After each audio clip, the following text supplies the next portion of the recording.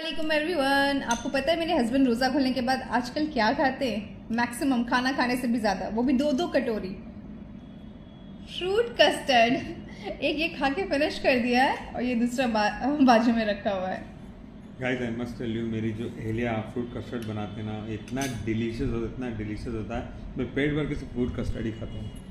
Thank you Aliya for making me so delicious fruit custard every day